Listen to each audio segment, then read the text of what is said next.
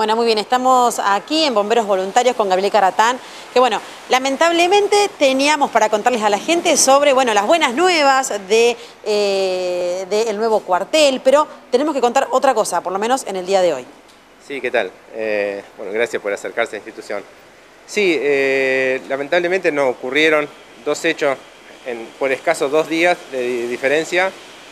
El martes de la mañana nos encontramos que había entrado ahí en la obra donde estamos haciendo un nuevo cuartel y se habían llevado un par de conexiones que teníamos para hacer con servicio sanitario el agua y la cloaca y también un par de alargues y de herramientas de la gente que está en la obra.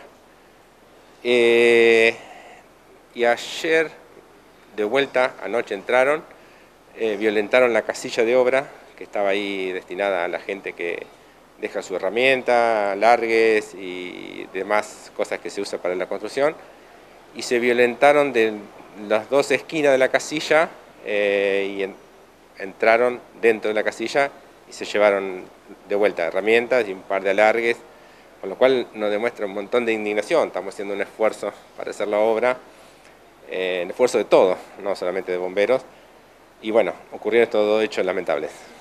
Gabriel, se hizo la denuncia, ¿cómo se continúa con el tema? Digo, porque más allá de que, como decís vos, ¿no?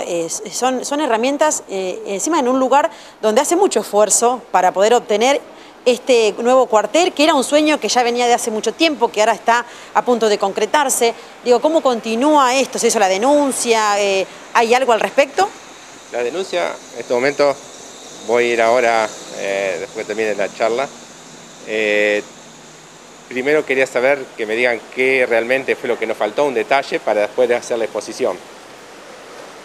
Más allá de todo eso, sí, la voluntad de, obvio, que seguimos con eso, con todo el empuje que le venimos dando, y bueno, la intención es seguir adelante con todo esto, para llegar a, un final feliz de la obra.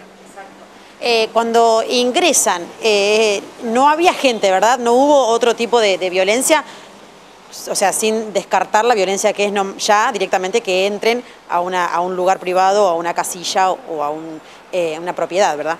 No, eh, otro tipo de, violencia ahí no se encontró, no se constató, mejor dicho. Eh, no sé si entran por el galpón lindante, que hay una conexión con el cerco de obra, no sabemos, eso serán lo encargado de, de si se puede elucidar algo después de la exposición que hagamos. No había gente presente entonces y no hay otro tipo de seguridad. ¿Creen que pueden implementar más seguridad para, para el lugar? Ahí por el momento, tipo sereno, esas cosas no teníamos.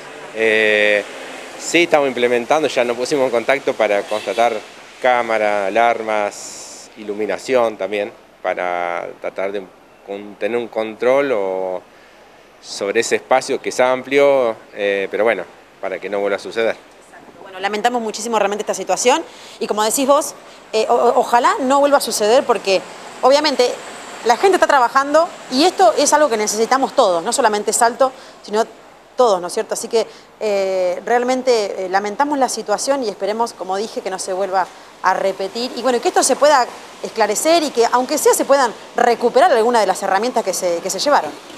Sí,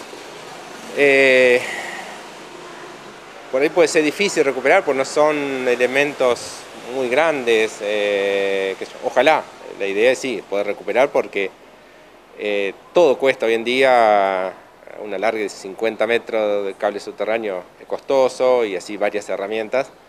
Con lo cual, bueno, si se puede recuperar, bienvenido, todo sea. Y bueno, apuntamos a continuar con la obra y sin estos inconvenientes. Muchísimas gracias. Gracias a ustedes por la visita.